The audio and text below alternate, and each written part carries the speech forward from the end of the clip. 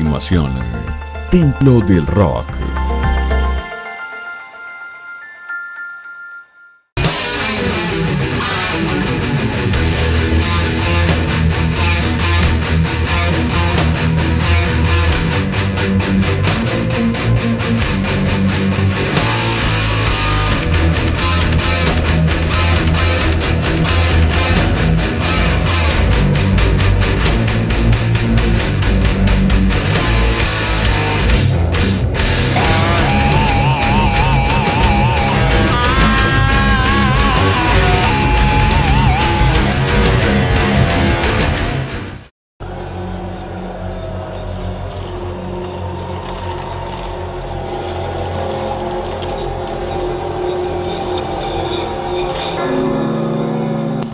Bienvenidos a otra edición del Templo del Rock, otra semana con más información acá del rock y metal no comercial, de lo que está en la escena local, también en la escena internacional.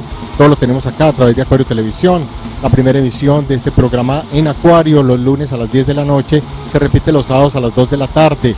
Así que con ellos y con todo lo que movemos en nuestras redes sociales y la fanpage del Templo del Rock, pues semana a semana les llevamos a ustedes eh, una hora de lo que acontece en el rock y el metal, como decimos, tanto en la parte nacional como en la parte internacional. En este caso también nos acompaña Colombian Shows por algo bien interesante que nos viene de Noruega. Estamos hablando de la agrupación Mayhem. Pero bueno, vamos a dar la entrada a nuestro invitado Mario, que pues, siempre ha contado con nosotros acá en el Templo del Rock para estos eventos de bandas internacionales en la ciudad. Así que Mario, bienvenido nuevamente al Templo del Rock y creo que tenemos eh, muchas eh, noticias interesantes alrededor de Mayhem. Eh, sí, Carlos, Pacho, muchas gracias de nuevo por la invitación. Está, la considerado siempre nuestra casa. y sí, nuestro próximo evento en la ciudad de Medellín es la leyenda, el icono del black metal Mayhem, que por primera vez visitará nuestra ciudad. Sí, aquí tenemos incluso unos afiches bien interesantes. Esto también queda como parte de, nuestras colecciones, Pacho, en todas las tipos de bandas internacionales también que nos visitan acá en la ciudad. Claro, esta banda que ya increíblemente han pasado 34 años de que comenzaron a trabajar en 1984 y que obviamente pues la historia la saben, esa parte del black metal noruego de la segunda oleada y la primera sí por toda Europa y la conexión que hay de este tipo de música y el intercambio de cintas de cassettes que hubo con Bull Metal, la época de Typhoon y Masacre, es innegable todo esto, reencarnación, que hablábamos con Satanic War Master, también, de que esa gente absorbió inclusive ese material de acá de Colombia. Y bueno, celebramos este aniversario de esta gira, que lleva un par de años. Eh, hay una anécdota porque cuando yo iba a la casa del Bull Metal, pues bueno, nosotros eh, hablamos mucho de Kiss y muchas bandas hard rock de ese momento y todo.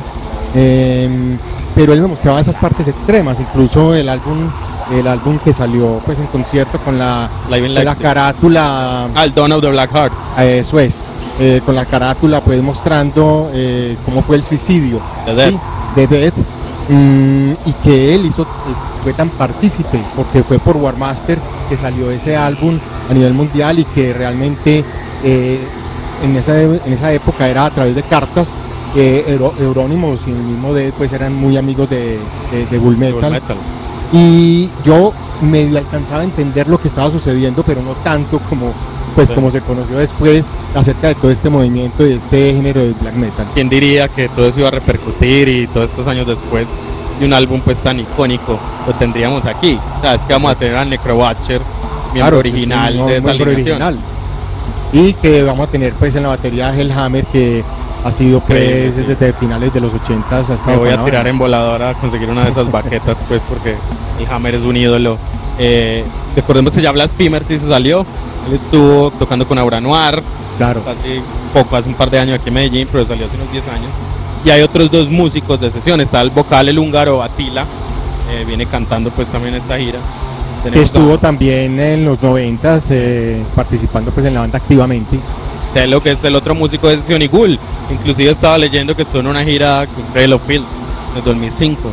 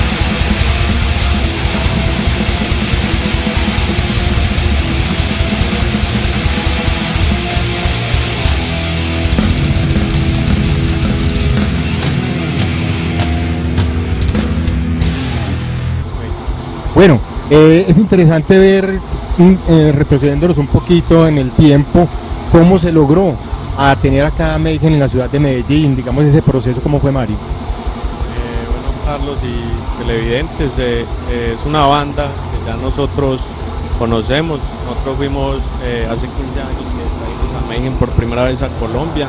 Bogotá. En el 2003 Bogotá. Luego hace 5 años, habían pasado 10 años, la volvimos a traer a, Bogotá solamente. Y en esta ocasión, aunque hace dos años ellos también pasaron por Colombia haciendo esta primera parte del de Satanas, eh, pero no, no participamos. eh, pero en esta ocasión quisimos eh, llevarlo a una ciudad donde nunca habían tocado, en este caso Medellín, y digamos que nuestros contactos con, con el manager que está haciendo esta gira eh, permitió de que lográramos un acuerdo eh, que fuera viable para hacerlo en la ciudad de Medellín. Acordamos cuando nos diste la noticia en marzo, previo a Sagrado. Decimos, oh, increíble, el final del primer semestre va a terminar en un punto muy alto y ya se nos llegó el día. Sí, ya estamos eh, pocos días y, hemos venido trabajando también otros eventos, pero sabemos que este, este evento es muy importante en lo personal, que es, es- es en mi ciudad y, y sabemos que para mí pienso es el, el evento más, más importante en metal underground o del metal extremo que haya sucedido aquí en Medellín. Sí, además te fue muy bien con los primeros combos que se lanzaron de boletería con Asaground. Sí, eh, o sea, sabemos que es una banda que el, el solo nombre pues vende solo, o sea, el Matacandelas va a estar a reventar, eh, algunas personas se quedarán por fuera seguramente, pero quisimos que fuera así, que fuera como algo muy exclusivo y que se sienta el Y nada la sobre energía. cupo, pues porque Sí. a veces han habido bandas en el Matacandelas que... No, la idea es que la gente que esté esté cómoda, esté Mm. llenito, pero que al menos puedan ir a- al baño, comprar una cerveza. No, y, y estamos aquí eh, ya, como decimos, a muy poco tiempo de ver este concierto de Mayhem, que recordemos pues es el 23 de junio en el Matacandelas, Sábado.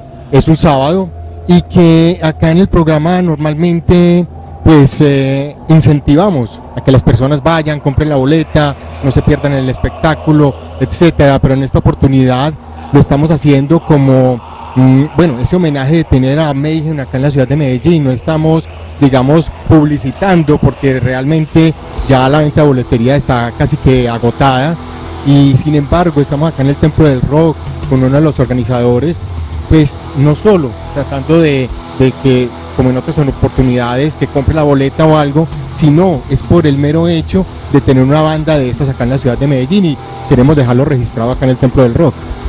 Sí, Carlos, eh, eh, yo pienso que es una oportunidad única de, de- presenciar esta banda aquí en la ciudad, en nuestra ciudad. Difícilmente se vuelva a dar otra oportunidad.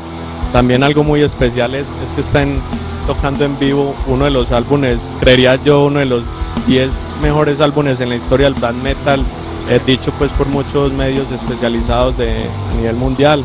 Entonces, eh, sí, ya prácticamente la boleta, sí, 1994 y, la boletería como tú dices está pues, prácticamente agotada, ya invitamos a, los que realmente son apasionados por, por la banda por el black metal que, que acudan a- al punto, a los dos puntos de venta que tenemos para, para adquirirla. Perfecto, vamos a ver algunas imágenes de lo que es esta banda en concierto. Esta banda viene muy activa, ha estado en el Festival de Wacken el año anterior, en más festivales eh, open air eh, abiertos en Europa, tocando todo este álbum completo, ya que cada vez se siente con más energía, con más oscuridad, con más, eh, eh, digamos, ese misterio y esas eh, partes, digamos, sí, oscuras que maneja la banda eh, a modo pues de presentación. Así que vamos a ver video de esta agrupación, vamos a ver algunos tipsitos, algunos puntos, digamos, importantes de Mayhem en su carrera musical.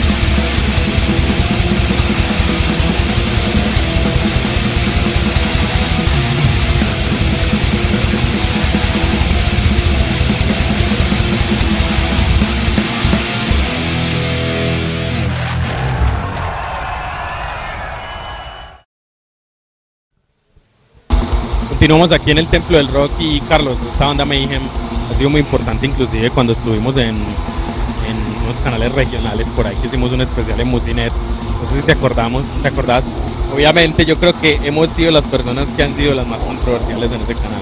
Porque en un especial que hicimos allá pusimos Nightwish, los Rhapsody, Manowar. Manowar, Manowar y Mayhem con el con cerdito. Mayhem. Ese video que andaba por ahí rotando de. Esa fue en la época, Pacho, en que estábamos en el Templo del Rock en Radio Veracruz. En Veracruz estamos hablando del año 2004, 2005, algo así creo yo. Y bueno, teníamos la oportunidad de hacer enlace con, mm, con Musinet en esa época. Nos daban un espaciecito. El primer programa dijimos, de pronto esto no dura mucho. Entonces tiremos la dura. tiremos Mayhem, tiremos Manowar, Nightwish, lo que en ese momento pues estaba que los videos eran escasos. No estaba el YouTube que tenemos Nada. hoy día. Entonces fue muy impactante, eso está grabado, incluso lo tenemos grabado un día, esto lo presentamos. Eh, Creo que ha sido lo más malévolo que se ha visto en ese canal antioqueño Perfecto. de toda su historia. Y bueno, y desde eso pues Mayhem eh, sigue siendo en el mundo underground pues eh, bastante interesante. En el mundo de los radicales, llamémoslo así, como quieran decirlo, eh, de esta banda pues tan interesante que maneja, digamos, esos tópicos que en Noruega pues se prestaba, ¿sí? Era un ambiente sórdido, un ambiente frío, un ambiente de bosques, en fin, algo que se presta también para eh, compenetrarse en este tipo de música y que también arremetía contra la Iglesia Católica. Ahora, también cabe anotar que todo este, esto que pasó en los 90 ya tiene otro aire en la modernidad, ¿sí? Hace poco Carlos compartió una entrevista del NME Musical Express de Inglaterra, donde entrevistaban a Necrobutcher y le decían, ¿te parece muy raro que ya te den condecoraciones en Noruega, en Inglaterra, a estas alturas, sabiendo que... ganado varias. Sí, premios inclusive del Grammy allá noruego, cuando en los 90 pues eran enemigos públicos número uno. Entonces la historia da unos giros muy interesantes y sobre todo también la tolerancia. O sea, ellos salen y ya son reconocidos en muchos eventos y países y siguen con su temática, no Claro, no, la temática no se pierde.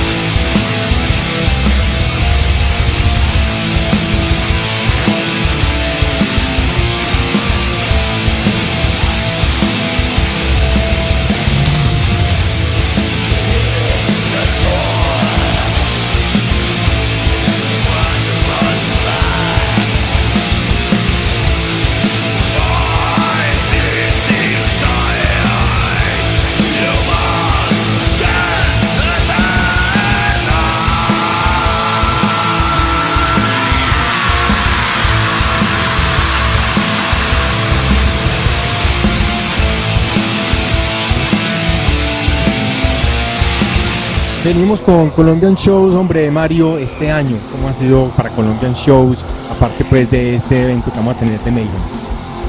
Carlos, este año ha sido muy agitado, ha sido muy, hemos, digamos, como regresado con bastante fuerza. Eh, prácticamente han sido, este sería ya el, el- el quinto, cuarto show de Mayhem. Eh, hemos hecho tres anteriores, como ustedes saben, el de Asa Ground, una gira aquí nacional y con México. Master Eh, Hammer. Luego hicimos Batiuska en Bogotá, Ah, sí. que fue un éxito total, lleno. Eh, luego hicimos Master Hammer de República Checa, Con una semana de diferencia apenas. una semana de diferencia. También eh, el apoyo increíble desde diferentes ciudades, gente de Perú, de Panamá. Por ser martes, lastimosamente, pues no pudimos ir. duro. pero- seguridad hubiera ido más gente, pero igual fue un éxito. Ahora vamos a Medellín, aquí en Ciudad de Medellín. Eh, al siguiente día tenemos a Alces, una banda de, de Francia excelente. La vamos a hacer en Bogotá y posteriormente en septiembre tenemos a, Take Otake, eh, que será solo en Bogotá. También por ahora, por ahora, pues en Medellín eh, eh, no vamos a tener, pues, digamos, por ahora, digamos, eventos, pues, que tengan que ver con los Colombian Shows, pero estamos hablando, pues, del movimiento a nivel nacional, que es bastante importante, porque desde acá el Templo del Rock que ven en otras ciudades, pues, sepan que Colombian Show está muy pendiente con estos eventos. Antes de, irnos para otro tema, eh, el comentario de Master Hammer, pues, porque realmente yo conozco Master Hammer, eh, yo compraba sus primeros álbumes eh, me gustaba algo de Master Hammer, la parte que tenía que ver como con la banda militar. Sí, como yo estuve también en una, en una banda de guerra o banda militar en el colegio, eh, esas marchas me parecieron muy interesantes y eso me capturó a mí de esos primeros trabajos. Eso fue en los primeros. Ahora, ¿cómo estaba Master Hammer? No, la banda ha conservado esa esencia. Si vos ves en, en vivo trae la persona que toca esos tambores, Sí, le da esa fuerza a la percusión. la parte marcial. arte marcial. Eh, Es, es, es muy envolvente su música, la, la- lo que ellos proyectan. Sale la chica con su Baphomet, esa máscara es increíble. Como anécdota, Grande. La, la- máscara es una caja grande que, que tiene casi que pagar eh, sobre equipaje Sí. en los vuelos de no se puede doblar. Entonces, es, eh, o sea, el show fue espectacular y tocaron desde, desde el Ritual y todos sus primeros álbumes hasta el último, el Fascinator. No, perfecto, muy bien, esas anécdotas interesantes que esas bandas que uno decía, bueno, son bandas que de pronto aparecieron y ya no vuelven más, pues vuelven con tanta fuerza y sobre todo pues a tierras latinas. Hay una revista Brigada de Acero, eh, la maneja pues tu, tu primo Gustavo. Él hizo ahí unas capturas y un registro. Ahí pueden también buscarla en Facebook, la Brigada de Acero. Perfecto, muy bien. Entonces, Mario, ya quedamos todos listos. Aquí vemos entonces eh, la forma de la boleta, ¿sí? Que como que oscura, ya no quedan puede. muy pocas, ya quedan muy pocas, eh, predomina pues el morado y el negro y el blanco. Tocó Bueno, conseguir. Sharpies dorados para Claro. ese día. Y vamos a estar allí, el Templo del Rock, pues tratando de cubrir en lo que se permita, estar con estos eh, grandes de la música y pues en verdad leyendas de géneros tan controvertidos y que, como decíamos ahora, pues ya tan aceptados también en el mundo del, del metal extremo. Y que la mayoría en sus propios términos le da espacio, inclusive a los medios alternativos como nosotros, compartir palabras, comprar merch.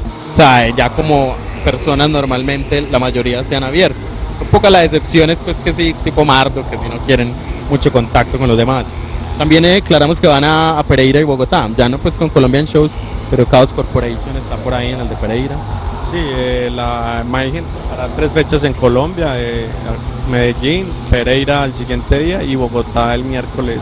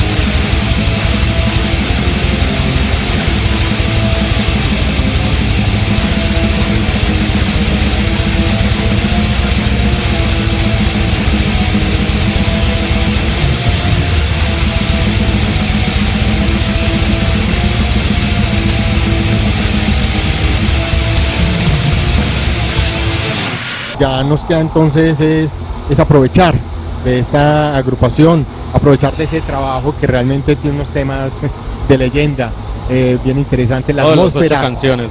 la atmósfera y el montaje que está generando esta agrupación. Sacó un DVD el año pasado, hace Claro. dos años. Estoy en YouTube. pues. Sí, perfecto. Bueno, estaremos allí, Mario. Entonces, eh, gracias por contar de nuevo acá con el Templo del Rock. Estaremos muy pendientes de más, eh, digamos, eventos que sean a partir de Colombian Shows. Y luego, pues, haremos alguna reseña también de lo que tenga que ver con la agrupación Mayhem. Eh, nuevamente gracias Carlos por la invitación y los televidentes invitarlos. Quiero decir algo y es, este evento, el montaje de luces, sonido, es nunca antes visto en el Matacandelas, en un concierto de metal underground. Va a ser bien especial. eh, hemos dado todo de nuestro esfuerzo para una gran producción. Obviamente obviamente teniendo en cuenta pues el, el espacio, el tamaño pues del Matacandela, no, no, no es que vamos a hacer como si en el back pues, pero, pero es algo, digamos igual, proporcional Sí. al, al espacio, entonces es un espectáculo que no se pueden perder. Yo creo que el teatro le da mucho misticismo a este tipo de presentación. Sí, no, Matacandelas es nuestro favorito. Sí, es verdad, es verdad, es muy bueno que haya sido allí en Matacandelas. Y no queda sino entonces también invitarlos a que nos veamos dentro de ocho días acá en el Templo del Rock. Los vamos a dejar con la presentación que tuvimos de Asaground en marzo. Eh, allí hicimos imágenes, eh, tuvimos también algún contacto con estas eh, chicas de Asaground. Eh, Daniel Meléndez me ayudó ahí en la traducción. eh, estuvimos Espinas. hablando con las chicas y, Estaba en la playa, entonces, y en Brasil. Apache estaba por fuera. Pero entonces, eh, gracias verdad a Crónicas Estigias, Daniel Meléndez, por el trabajo pues que se hizo en conjunto con el Templo del Rock para lo que tenía que ver con Asaground, que a continuación entonces lo vamos a ver en el Templo del Rock.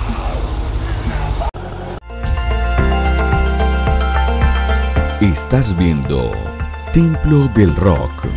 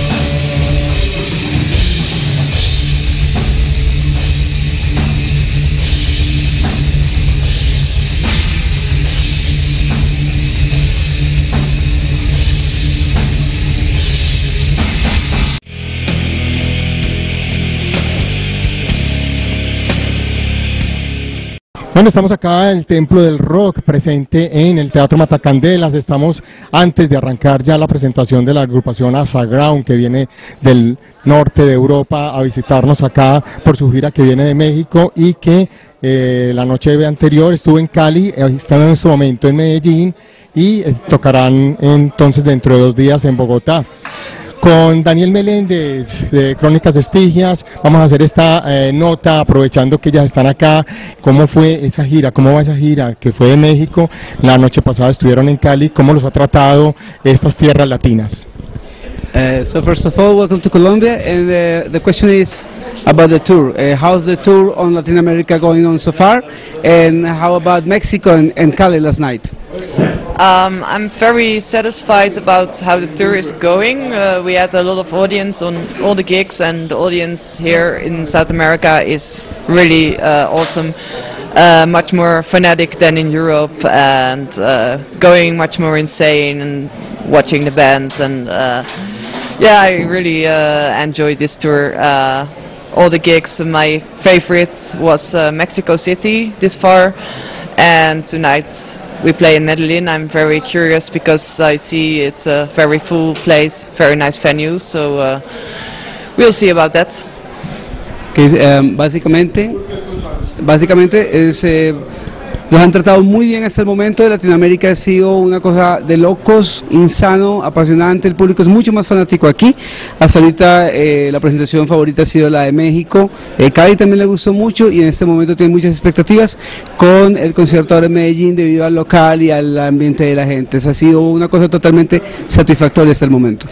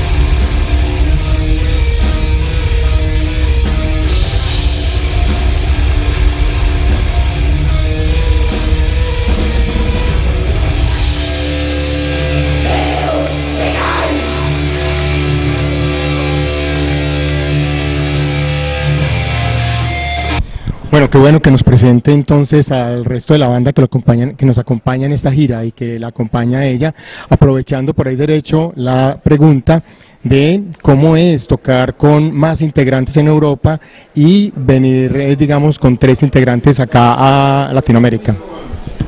Um, so this is a twofold question. Uh, first of all, uh, if you would like to introduce the band to our audience, to our viewers, And the second, uh, we have seen uh, some shows of Asagram in Europe. Uh, you play with more musicians. So, how's the difference about playing with a three, with a three-piece band or a five-piece band like you guys do in Europe sometimes? Well, first of all, um, this is our drummer, uh, A, and this is our bass player, Mortifero. And um, yeah, they uh, accompany me for this tour. Uh, sometimes we have a backup bass player uh, called uh, Makashana uh, for a couple of gigs per year, and she also plays in a band called Abisik in Norway. And we have a guest keyboard player on special occasions named um, Sandra, and she is only joining on uh, bigger festivals in Europe and then we have a second guitarist, V Chaos, and she is always uh, joining on the European gigs, but for organizational reasons she couldn't come to this tour, but maybe on the next one we would bring her. So, uh, but it's very also good to play with these ladies. Uh, they are very tight lineup, so I never have to worry. I can uh, always uh, count on them to play good and tight and uh, spread the black, flame, the right atmosphere, so it's very good. Okay. Pues primero que todo las presentó es Ey la baterista y Mortífera la bajista. Eh, resulta que en este momento ellos están girando con una banda de tres piezas, eh, tienen otros eh, eh, músicos invitadas cuando tocan en Europa como Akashana que toca en Avicii de Noruega y Vikeus que se les une como segunda guitarrista, pero para esta gira, por razones de organización, no pudo estar con ellas. Y por lo general está en los festivales más grandes. Así que básicamente eh, con estas dos damas es una alineación muy afincada, muy compacta, eh, con quien es muy agradable tocar.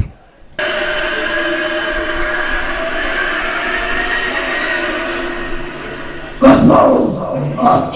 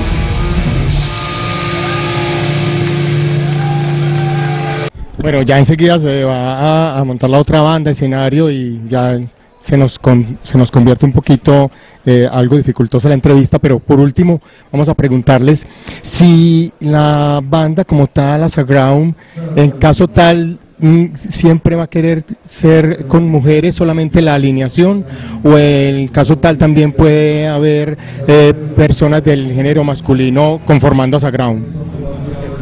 Uh, sir, we are about to finish the interview because the next band is going to go on stage. So, one last question: uh, Have you envisioned Asagram as an all-time, always uh, female band, or have you considered the possibility of having also guys playing with you?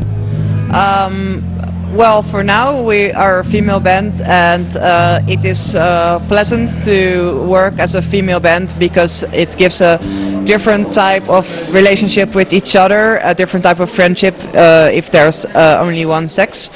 Uh, but uh, if it would ever be necessary to have a male backup musician, I wouldn't have a problem with that. Eso básicamente es eh, el aire y la atmósfera que se tiene en tocar únicamente con mujeres genera una química eh, distinta y es un tipo de amistad diferente en la banda. Esa es la idea de mantenerlo así, sin embargo, en el caso de que se necesiten eh, también tocar con hombres, pues no habría ningún inconveniente con ello.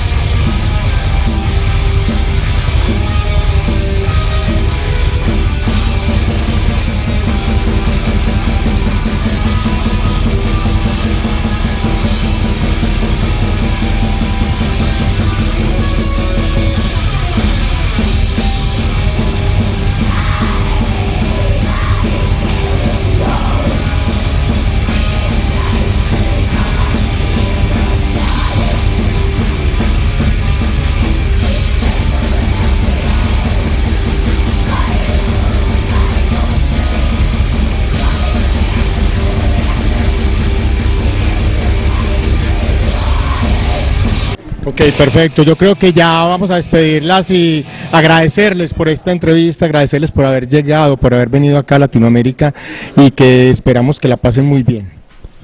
Okay, so basically, uh, thank you for your time, uh, girls, uh, ladies, and uh, it was uh, really a pleasure uh, to talk to you, and we hope you enjoy your future dates on the show, on the tour.